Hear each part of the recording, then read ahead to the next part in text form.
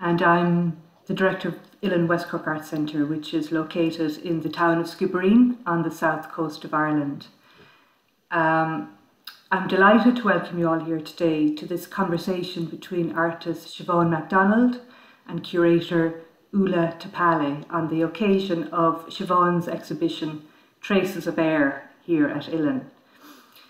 We managed to physically install the exhibition in our galleries before the current lockdown, but unfortunately we haven't been able to open it to the public. However, we have made a video tour of the exhibition and have brought it online for viewers to access in that way. Um, so uh, today's conversation will offer another way to experience Siobhan's work and the exhibition. So on to the introductions. Admit some more people there. So Siobhan McDonald's practice draws attention to contemporary topics dealing with air, breath and atmospheric phenomena. She weaves scientific knowledge into her art in a poetic and thoughtful manner. She is currently artist in residence at the School of Natural Sciences in Trinity College Dublin, and she is working with world leading research facilities such as the European Space Agency and the JRC European Commission to explore ecological concerns. And Siobhan was selected as the 2020 Climate Whirl Artist in Residence. Uh, Ulla Taipale is a Finnish curator and researcher. She is especially interested in enhancing cultural and ecological biodiversity through art and science interventions and educational projects, and in building bridges between art and science communities, and in facilitating dialogue between artists, creators, scientists, and the general public. Currently, she works at INAR, that's the Institute for Atmospheric and Earth System Research at the University of Helsinki, and also with other international programs and initiatives combining arts and natural sciences. She curates and coordinates the Climate Whirl Arts Programme. So, uh, Siobhan, do you want to say a few words or will I go straight into the, the video? Um, I'll just say, um, I just would like to say uh, a huge thanks to Uillinn for facilitating the show and for making it happen during the lockdown, and um, also to Ulla um, for participating in this conversation we met a couple of years ago, auspiciously in Italy, and this, and Anne to you as well. Thanks so much for um, everything you've done in the last while, and uh, so I'm really delighted to be here and to share the work with everybody today. Okay, thanks, Siobhan. So we're going to start by um, just showing a short clip of the video um, tour that we made of the physical exhibition in the galleries at Uillinn.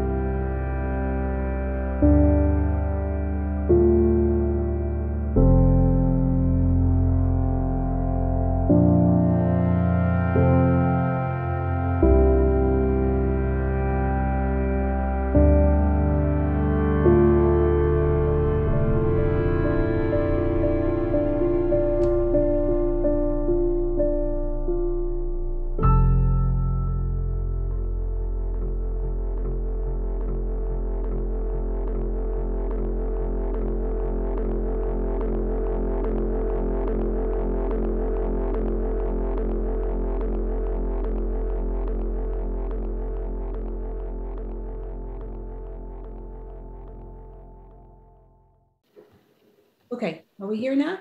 Yes, I okay. think we are here. Um, and hello, uh, everybody from my, my so thank you very much for Anne and Siobhan to for inviting me to this conversation around uh, Siobhan's exhibition in, in, uh, in, the gallery. I must say that this uh, documentation uh, that the gallery Anne and, and, the colleagues has made of the exhibition is excellent. Uh, I've been going through all the material, that is quite Uh, it's not only the exhibition that is um, it's in, in, in the gallery space, but it's a lot of also other articles and, and uh, other material of uh, Siobhan's earlier works and, and, and shows. And it's, I think it's an excellent work. Uh, the documentation, because now we don't have uh, any other way to go to the places. And uh, after seeing all this, I feel that I, I was there physically. so, um, Siobhan, we could start. Um, the Traces of Air is the name of the exhibition. What is the inspiration uh, behind the show? Um, well, the idea for the, the exhibition germinated over a very long period of time. And uh, ideas of how the Earth acts as a, res a resonant vehicle for frequency, symbiosis between you know humans and the Earth plants. Um, so in this first photograph uh, is a field trip that I took to Mount Etna many years ago, where you can actually physically see the Earth as a, a breathing pore and a way to kind of you know ex expel breath from the Earth, literally energy energetic force. So I'm going to just talk through some of the research and weave it into the work as we go along. Um, oh, there we go. um, this is an artwork that's not on the show, but it is part of a series of work, and it's called um, it's a prism and a film made up of uh, volcanic activity all over Europe, and um, it's it's the idea of using prism and uh, volcanic imagery is when to allude to the to the, um, to the point of how our air and our light changes when uh, particulates in the atmosphere interact with the atmospherics. So, uh, for instance, when a volcano erupts, it um, it emits ash into the air and it changes the light. So, um, and, and the video that you would have seen in the beginning, this is one of the images. It's um, it's called to breathe, and um, I've used the structure of the human lungs as a way to give a voice to man and nature. Um, and what you see are layered images of the very first um, X-rays of human lungs after the Industrial Revolution. It suffered from pollution right up until today. Uh, imagery. So I layered those images together and overlaid them over imagery of plants um, going back to um, the early 1900s. So the sound piece with this uh, um, is very. It resonates at the frequency of a breath. And I worked with David Stalling, a wonderful composer in Ireland, who uh, worked with me and we did an open call in Trinity College Dublin and we invited people to come and have their breath recorded. And so we also uh, listened to the inside workings of plants through plant sensor technology and used recording plant piece, which is not the sound piece of our introduction film. Um, this is another image and this is, believe it or not, the work installed in the gallery, um, which you can't get to see, unfortunately, but that's uh, how the film acts in the black space. Um, another artwork that uh, relates to the series is called Herbarium of Breath, and it's it alludes to the themes of you know deep time and memory, and um, it's it, the atmospheric particles in Europe that I collected between the volcanic ash from the summit of the very eruptive volcanoes to the particulates in the air that uh, were collected in the European Commission. They have these antennae that can collect air particles and they posted them to me and I made ink out of them. So this, uh, the imagery here reads as a frequency um, of uh, that relates to the sound frequency that I found inside the air. So each one of these plates contains either an ancient plant or um, that some of them are gilded in gold, to fossils of plants, to um, paintings made from volcanic ash. So it's, it's the um, primal matter of what makes up our air um, across Europe. So particularly now, since you know we're in such a climate emergency and everything that's going on um, with pollution, but now I, guess with the um, I'm so aware of the air. And the genesis for this work started um, with my interest in Eastern philosophy notions of um, breath through meditation and the relationship between what you breathe out and what you breathe in, and how you can access different layers of consciousness through breath. Um, so the latest work in the show is a series of paintings called um, uh, Trees, and I made them during the pandemic. They're, uh, they're made on thick uh, pieces of wood, some of them are thick, and they uh, I, am very interested in Japanese art making process, particularly printmaking. So they influenced the form that uh, these artworks took, but they uh, work with some of the drawings that I made of forests and how trees communicate with each other in their underground systems and how the light changed in forest. Um, uh, Siobhan, Siobhan, sorry, your sound is fading a little bit. Maybe if you could sit closer to the mic. Sure. Yeah.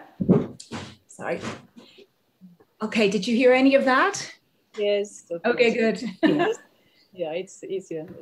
And um, this is another work. It's called Silent Witnessing, and it's uh, it's a, it's an archive that was never really intended to be made. It's it alludes to some of the the marks that are left behind and the residues that are left behind by fossils, but also by light. Um, I won't get into the story of how this was um, made, but it uh, it's if you can see it closely, it's it's the imprint of butterflies that was left through um, a natural photogram that was made over 100 years as the light penetrated onto the back paper and dust. And then I worked into it with silver nitrate to make this work. So it's about the idea of, um, I guess, you know, uh, that even if something disappears on the earth, that it leaves its its residue, it leaves its mark. And um, yeah, okay, so that's another installation shot of the gallery. This artwork on the right is a map of all the stars as if you were inside the galaxy and you were looking uh, at the stars. And, and, some of the star constellations on the map um, relate to Polaris, which is one of the star constellations that the um, early explorers used in order to navigate the Northwest Passage. It's a photograph with paint painted. So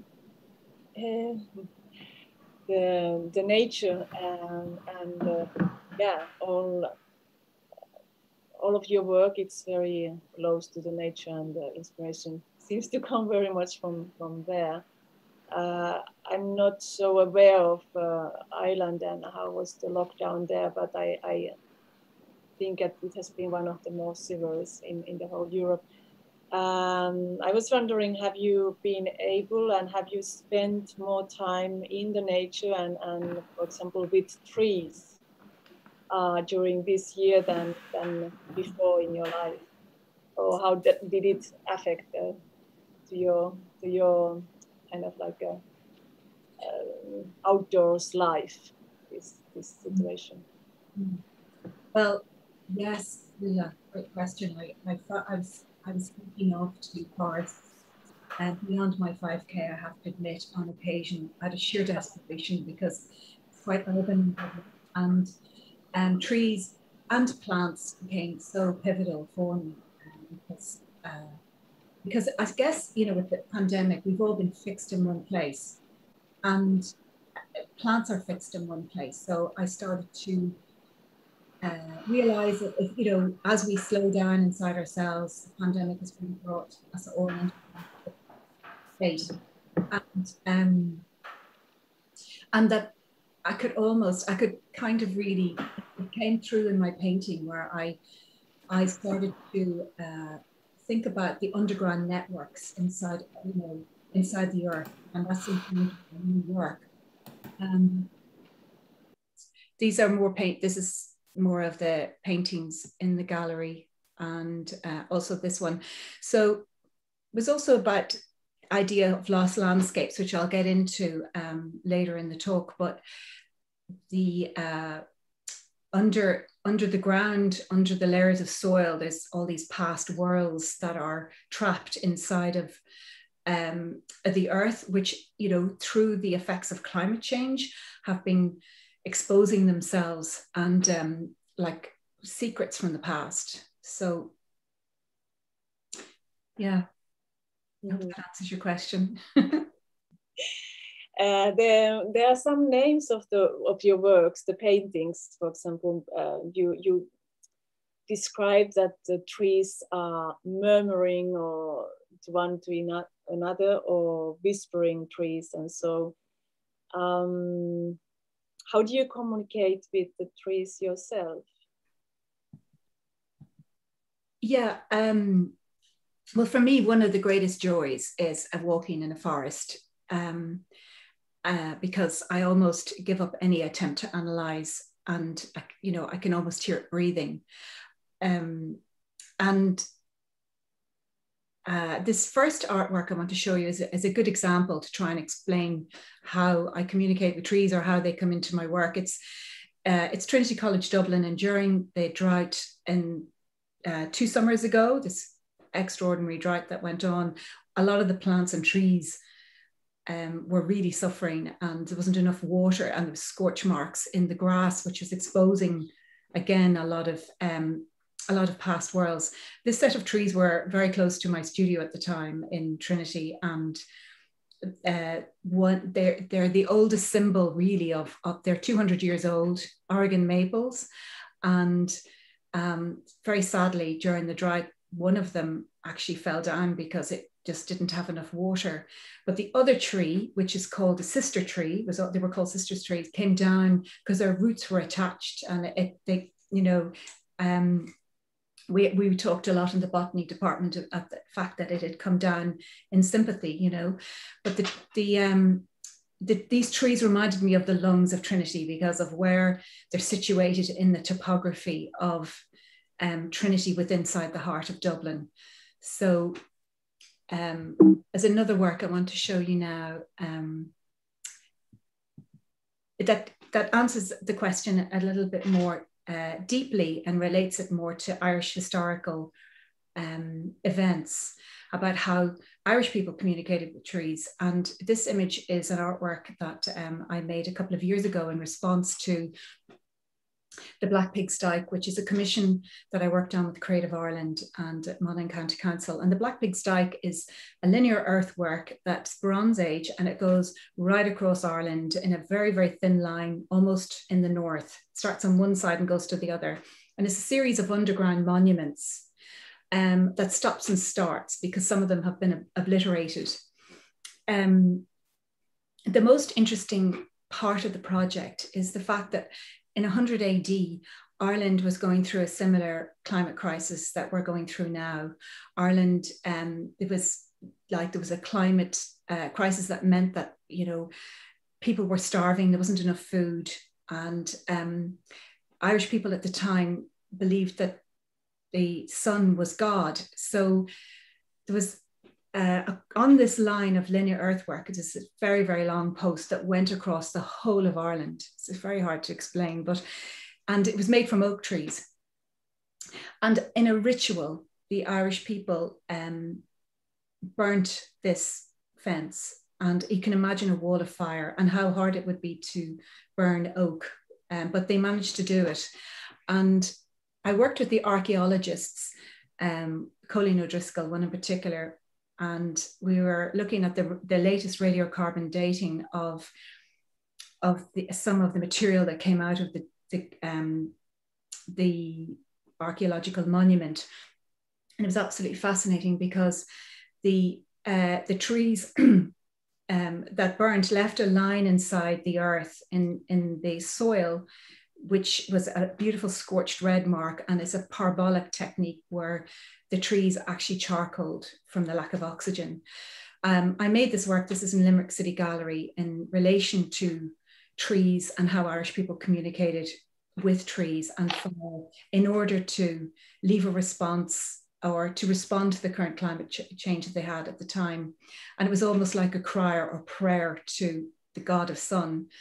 Um, so this piece is in um, in traces of air and these are the actual this is a smaller circle and these are the actual particles of charcoal that came out of the dig um, when i worked the archaeologists and um, I've made it into a circular form because it relates to a lot of the stone monuments in Ireland. But these, this is the, the actual material matter that came from those trees and from that ritual.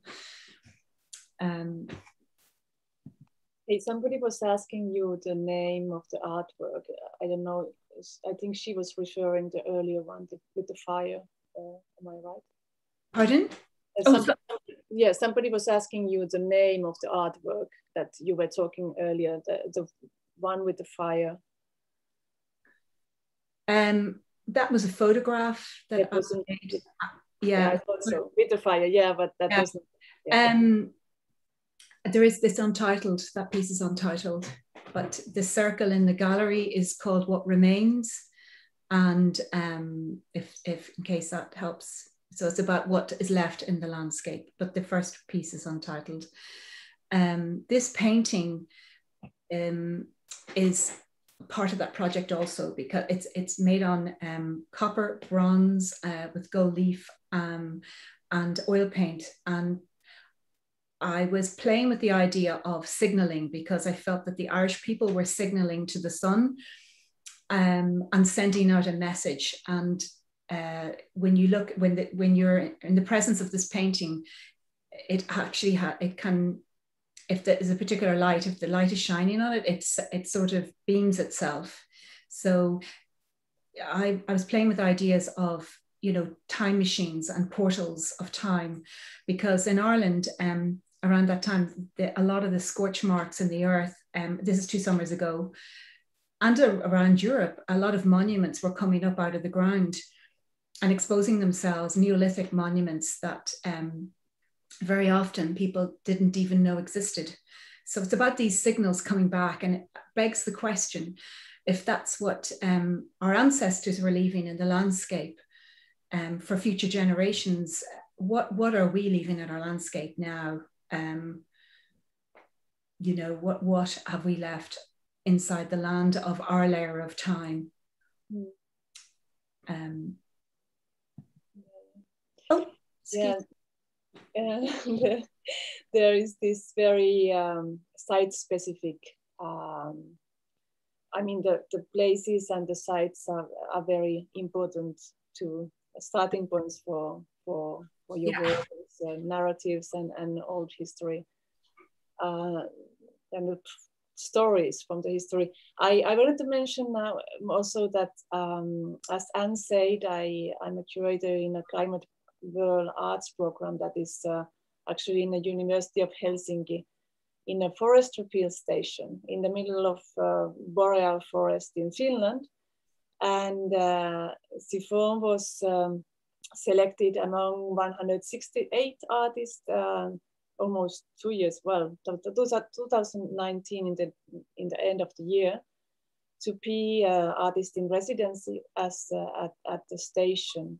And this station is uh, specific in that sense that, um, well, it's, it's in uh, Boreal Forest and, and uh, Finland is um, uh, covered by forest in, in well, I mean, uh, but this forest is special because there is a, a laboratory um, that University of Helsinki and INAR, Institute of Atmospheric and, and Earth System Research, uh, they study the interactions between the atmosphere and, and, and the boreal forest. So um, I don't know how much we have to wait still, but of course we are very anxious to, to have uh, Siobhan to, to work uh, in the station and, and have dialogues with, with, with our scientists and, and see what comes out from, from this, this place. And, and further on with these scientific collaborations, uh, looking at your work and, and the collaborators uh, that you have had in, in the past and in the present, um, there are so many scientific institutions and, and research facilities as well as scientists that you have worked with. Uh, however, you are educated as a painter and uh, using uh, that media, uh, combining it very creatively with, with other, other media. Um, so how does the poetics of your work combine uh, with the structures and the rigor of hard sciences and, and uh, scientific research? Um, well, painting is my oxygen. It's it's where I get. It's a starting point of everything that I do. Um, so uh, I work very intuitively, and painting is the very practice of painting keeps me very grounded in that notion of just switching off my brain or trying to apply meaning to things um, and to get out of the way and let the work come through. Um, the other part of what I do works with a, a, different part of the brain and the sensory capacity. When I, I work conceptually, it's a different set of um, skills and a different ways of looking at the world. So um, yes, i am working with and have worked with some of the really incredible scientists, historians, craftspeople, architects, you know, lighting artists, and um, every each discipline requires a different conversation. Um, I've, I've so much respect for the rigor of science and it's a sharing of ideas when we come together. It's, it's really a sharing of knowledge. And there's a particular mindset in the scientific world um, which you know is, is about proving something and making an hypothesis and as soon as the earth shifts and change that hypothesis has to shift and change with it um, and I enjoy the discourse. I, I, am I'm the least methodical scientific person you could ever imagine, but I think that's why uh, the symphony between what we do dovetails so well because I find that a lot of scientists are, for instance, closet artists. So, um, but it's it's never really uh, you know I just do what I do and they do what they do and um, uh, so recent more recently in the last decade I've explored lots of different ways of making things from video to sound making um, you know to uh, installations on landscape and you know I found that a, a lot of I needed to to explore different ways of making work because of some of the extraordinary fragile places where I end up, where uh, something needs to be made immediately or recorded. So, um, yeah, I, I find um, particularly now that the scientists that I'm working with on my current project, there's just such a rich conversation going on uh, between different institutions in Europe, and I'm trying to manage that online because I can't go to, physically to these places. But they've been extremely generous, and uh, I feel very lucky and fortunate to be able to be working with these great people. And I'm sure that they are feeling uh, the same. uh, many scientists say that these dialogues and, and that these encounters uh, are really eye-opening and also make them the scientists look they work from the different angles. So I, I think there is this uh, reciprocity yeah. feel for both.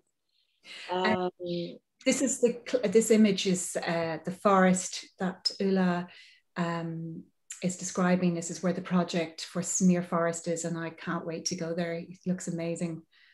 Um, okay. Yes, I, I, wanted to to go um, to this historical uh, element in your work. Um, the history and, and uh, historical documents are also very present in your artwork, or you mix very nicely these, uh, these different uh, um, times and, and spaces. Uh, for example, you have used old photographic plates and uh, historical medical films. Um, so what is more in, interesting for you, the future speculations or, or the, the past? Um, the, the most interesting uh, historical documents for me are contained inside the great archives of ICE, uh, which isn't a physical historical building. It's it's actually the archives themselves. I, um, I I've been in the presence of them on several occasions, um, and I just find that the actual sheer presence and the physical contact between my body and the body of ice is so amazing because you're confronted with the en- enormity of these archives and historical records because of course inside the ice as it melts is contained primordial waters which you can't record really. They go back to the beginning of time. And inside the pockets of ice are contained bubbles which hold sounds from different epochs. So as they melt, they're releasing it back into our present time. So, um, so the deep time archives are, are that you find in the strata of the earth are the most interesting um, to me. But I um,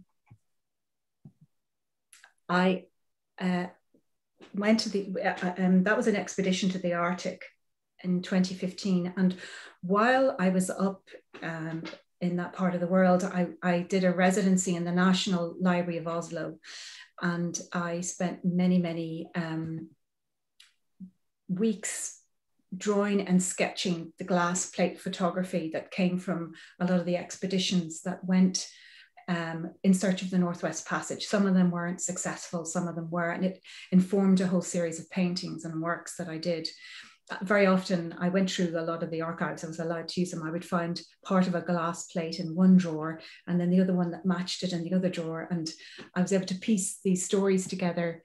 Um, but what I found so fascinating is that um, the because the glass plate photography were inside the cameras that um, you know sometimes ended up inside of glaciers because of time had just frozen over them. And as the glaciers melted, out popped these cameras, and the glass plates were um, totally intact inside. So that's what I was making my drawings from for these paintings. And uh, they they showed the kind of some of them some of them were so distorted that you'd only get half a face or part of the impression of where you felt somebody was was standing and um, i'm told that in a lot of the cases, the people would have perished and not survived, but their cameras did. So their bones were found close to the to the cameras. So, um, yeah, that that's an example of how I, I would use an archive. Um, but I also, for me, it's about going to the place. It's being in the physical presence of, um, which we can't do at the moment. Um, but uh, the, ener- the energy contained inside a piece of land is what I try to draw into uh, my work, you know, just the feeling of being there. Mm-hmm. And I, I think that it's very um, positive in a sense to, to uh, have these archives shown uh, now in, in our present again. Um, I mean, it's a different context that they were created for, but it's also with your work, if they, they get um, mixed with uh, these new aspects. And, and I, I, I think the, the photographers of that time would be very happy to see this, these images uh, after your interpretation. Yeah, yeah, it's remarkable. Um, to think that you could perish, but the, the, a tiny imprint of you is left inside of a glacier. You know, yeah, we could go find it. Uh, sorry, sorry, sorry. We don't have so much time left, so uh, it would be nice to hear a bit what um, what kind of work you are now doing, and, and what is the future work like that you are planning. Okay, well, I'm working on this fascinating project. This is just a screenshot. Apologies for the photography. Um, uh, it's it's I'm working on a project called Studiotopia, which is part of Bozar, um, which is a museum in Brussels. I've selected one of 13 artists from across Europe to respond to art in the Anthropocene. My project is called Lost Landscapes, and it's I'm looking at as the permafrost melts in, in the poles, it's releasing um, these gases um, that are potentially toxic for humanity. Um, uh, and also I'm exploring the soil and how uh, the soil as permafrost is the intelligence inside the soil with the, the fungi and the, the kind of um, uh, the primal matter of fungi can kind of keep pockets of um, elements of seeds, etc., safe inside the world. So this is uh, part of the project. Also, I'm I'm working with a, a scientist in Vienna who has managed to germinate seeds that were 32,000 years old that were found in the Siberian Arctic. It's the oldest example in the world of um, uh, a plant being able to come back into our present time. Um, and it's just the most extraordinary, uh, beautiful um, little delicate white flower. And to me, it's such a symbol of hope that you know while we're in this emergency and we're looking at the facts of what is happening um, that there are these messages contained underground so at the moment I'm, I'm working with a scientist in the um, european commission and we're looking at soil samples um, there's a thousand soil samples that i'm hoping to explore with him when i make it over there uh, i think he might be on this talk but um, anyway, so that's my current work at the moment. That will be going on a touring show next year, starting in Bozar and going around Europe with, uh, with this, this exhibition. Thanks for showing this this plan. It's incredible. I know. Don't. Um, so um, going back uh, still to these uh, expeditioners, um, I think we both are fascinated with these these people, and uh, I was I was curious to know if you could name one uh, an expeditioner. Oh, um, from history um, that you could um, you would like to participate in this this journey, if possible. Well, there's so many, but one that comes to mind actually will help me explain the last piece of work for the show. Um, it was an expedition called Southern Cross, and it was in 1859. It was in Boston, and it it uh, happened to go into uncharted territory, and um, a huge storm happened, and ended up experiencing one of the the most famous uh, solar storm that happened has ever happened on Earth. So it was called uh, the Carrington event. And uh, the aurora borealis had appeared all over the world. And it was uh, it happened for one week and telecommunications completely stopped in the world as well. And um, i've called an artwork um, the week the sun touched the earth in response to to it and many other things. The artwork is a collaboration with uh, DIAS. They've commissioned this, the Dublin Institute of Advanced Studies, and uh, it's in response to Solar Orbiter, which is a spacecraft that took off uh, last year to go to the sun. And um, I, I'm making a short film projection that, um, that looks at how Irish people perceive the sun going back in the Irish annals to, you know, far back as 700 AD and right up into the present, and how people uh, experience the aurora borealis. So I'm working. I was working with a dancer. Uh, I'm uh, yeah, a very dear friend of mine who has recently passed away, um, very tragically. So her movement is depicted in, in the film where she embodies um, the movement of the sun across the equator as, as a double virtual um, sort of visual experience. And uh, she literally embodies light. So it's, it's um, yeah, it's a very uh, deeply uh, resonant emotional artwork for me at this point because uh, I've seen it through the lens of, of my friendship with this wonderful human being. So it also looks at the idea of continuum and how the earth cycles keep continuing. so this is part of the spacecraft and some of the materials that I'm using, which is um, bone matter, that black, uh, that black surface is actually carbon and charred bone. And this last image, which is just a screenshot, um, one of the most interesting things that's on board is a STIX camera and it's got this grid in front of it. So these lenses are projecting images back um, to Earth from the sun every second that's picked up in NASA, but it's projecting it through these grids. And these are moire patterns that are similar to 1920s photography. So the information comes as data and it's split through these gorgeous little squares, if you can see them. And um, so a lot of the image making is um, that uh, incorporates some of the uh, uh, the mathematical structures in in the data. So I'm looking forward. I'm going to be showing that at ULA, Uillinn um, soon, and then it goes to Centre Culturel Irlandais, and then possibly to some other places. Okay, that's sounds. So it's it's going to be a, a film. Or...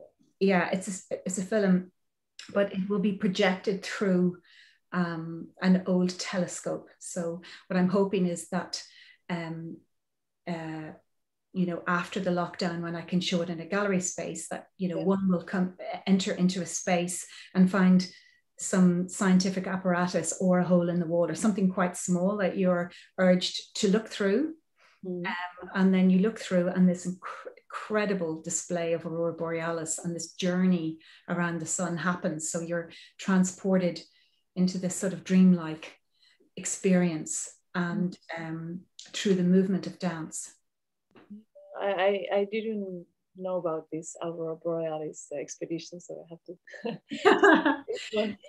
yeah. hey, um, and I think we we don't have much more time. Shall we take some questions now? Uh, yes. So if um, if anybody'd like to ask a question, um, maybe put it in the chat. It's probably the easiest way to do it. Um,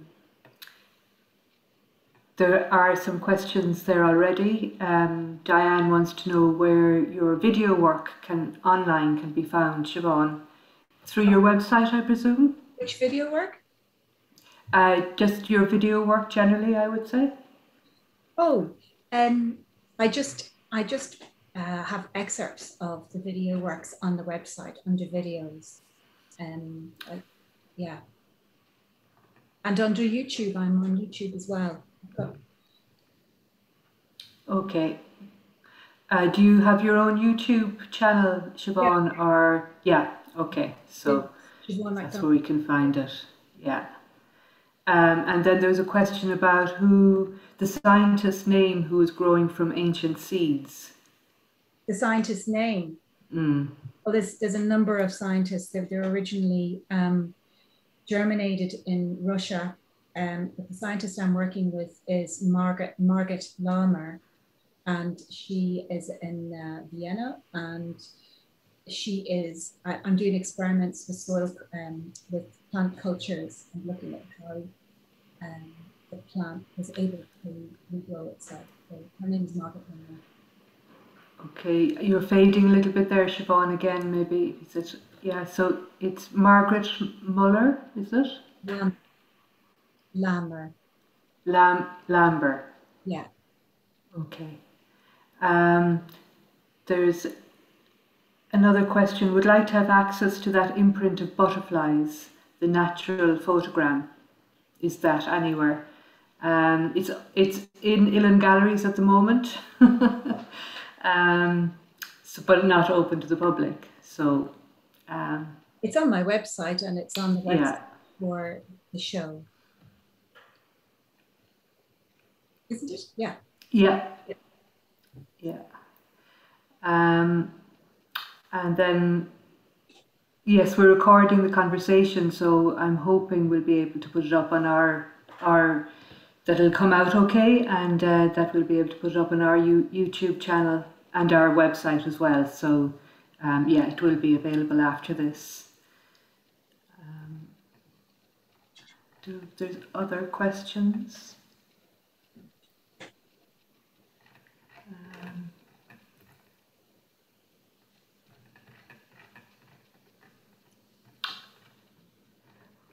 Um, I have a question, Siobhan, just on your collaboration with scientists. Um, do, how do you get how do you get in touch with people initially? Do you you must have a quite a network of of people now that you've been working with over the past while.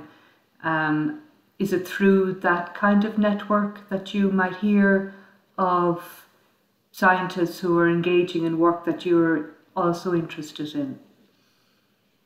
Um, well, I think the uh, initially uh, it started when the very famous volcano erupted in Iceland, and I I just got myself straight on a flight back in 2010, and I happened to be traveling with geologists, and that's kicked off my whole relationship with scientists because I just made friends with them, and then I ended up on this brilliant residency in University College Dublin, um, um, and I I was able to travel between all the different floors and talk to different scientists. So my advice to anybody who wants to reach out to a scientist is to uh, get involved, is, is just to, to write to them.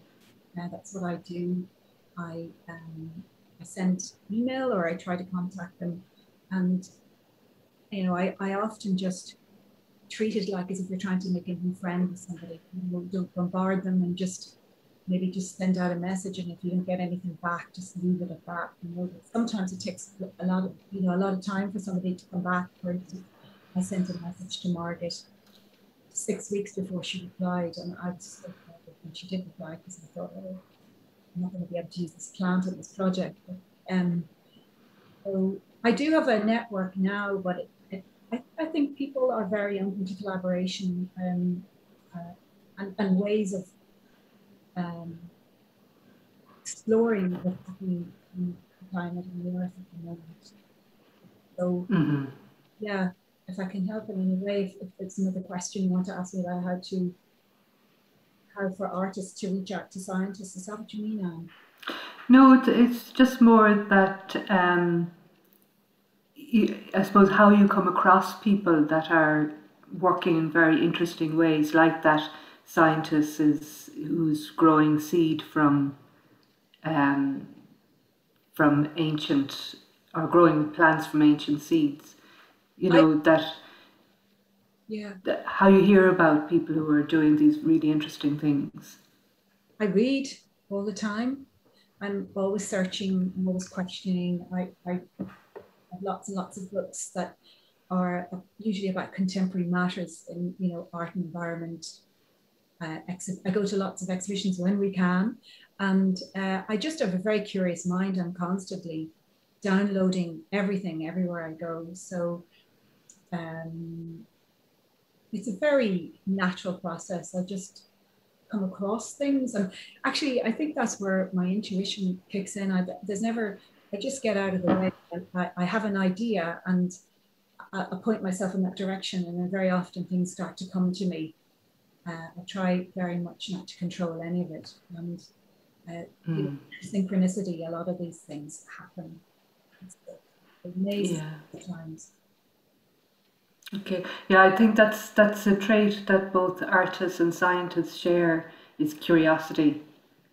Um, yeah, yeah, you know, just that, yeah. Trouble.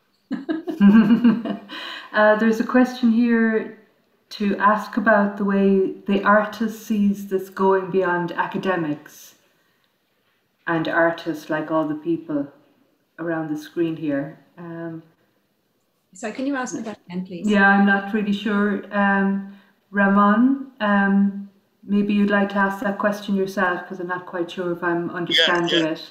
Yeah, yeah, yeah. I mean, it, it, it, it's pretty simple. I mean, I, I like this a lot. There's lots of interesting ideas coming up. But but the, the, the point is, how is this kind of working in the current context beyond the nice group of people who are sitting around here? I mean, how, how is this useful for for for society, for people, for other cultures, for to try to understand and make sense of the world we're living in and the problems we're facing. I mean, it's obviously an interesting endeavor, but how does this hook up with with what's going on. I mean, I'm sure that there's some sort of ideas about that beyond the fact of making exhibitions and writing papers, which we all like, and uh, it's a useful way to start. But but in the end, it needs to be something else going on or some sort of further intention. In the same way that when you say that sediments track history, what is our understanding of the future? I mean, what are we trying to seed? What we are seeding is essentially nuclear waste and plastics and stuff. But there's also some sort of ideas that we might be putting forward.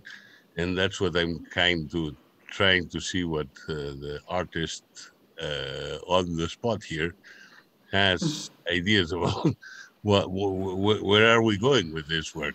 Thank you. Thanks. That's an interesting question. It's many questions. I'll try and answer it. Um, I think that one of the most powerful things that uh, people can do is to come together as community to commune on ideas across disciplines. In uh, historically, it's it's how change has been made.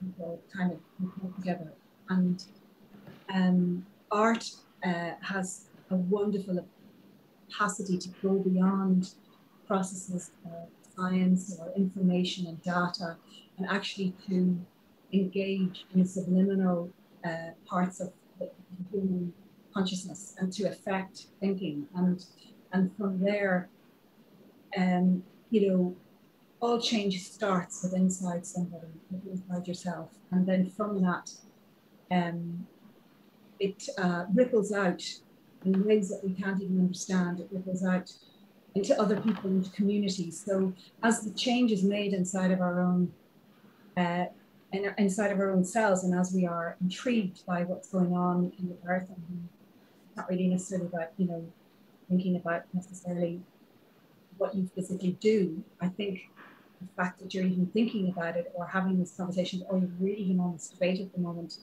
is planting a seed of some sort, and it has an extraordinary. you can't. Um, uh, can imagine the capacity of, of uh, power of change we have inside of inside of ourselves. So I think that um, it has everything to do with this. Uh, um, you know, the process of me going somewhere in the middle of nowhere, standing there with a sketchbook, kind of think, what am I doing to to help the situation? And I, I believe that projects that I make I don't know where they go to, but if, if in any way they help to bring some focus onto waking us up, um, I, I, would be deeply honored, you know. I hope that answered your question. Part of it. I'm, I'm bit closer as if you yeah. want you up Yeah. Does that help? Does that does that answer? I I'm not sure your, of your name. Sorry. Yeah. Yeah.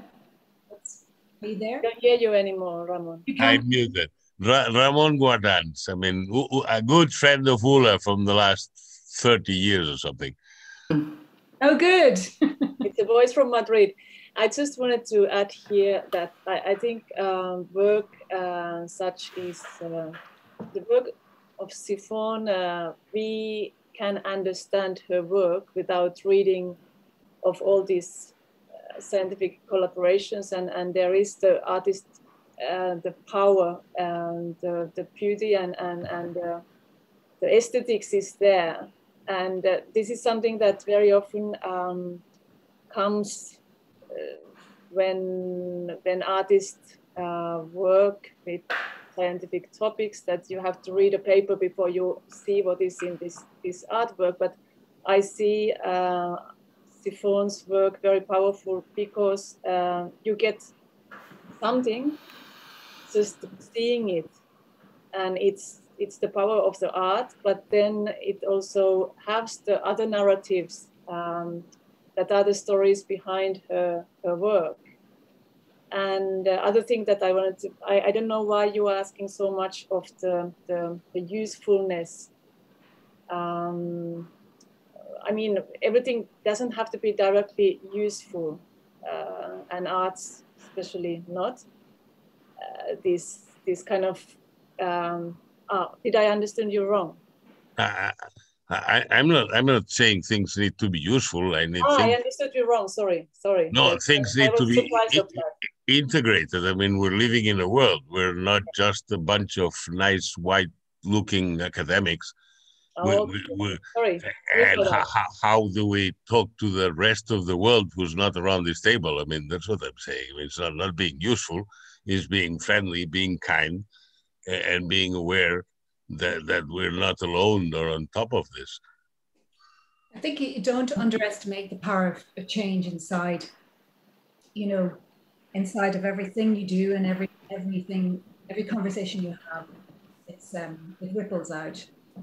So my work tends to be very quiet and very subtle, and um, it doesn't. It's not roaring and shouting. It's very subtle. So um, I I like to kind of bring a focus into kind of matters uh, inside the earth and and therefore inside the human psyche as well.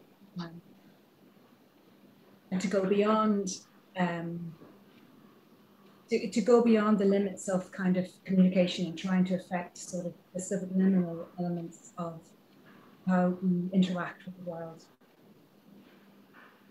There was something else also, uh, I think in, in your work, um, all this data and, and uh, climate change uh, related um, communication. And so I, I see your works and, and I see the trees, I see the uh, ashes from the volcano or, or something. And, and I think it can be very inspiring for people um, just to do their own explorations in, in the in the near forest or everybody can't go to the volcano but but I, I think this is a powerful tool in a sense to to, to sensitize uh, people's mind to, to be uh, and, and understand what is the value of the of the natural medium.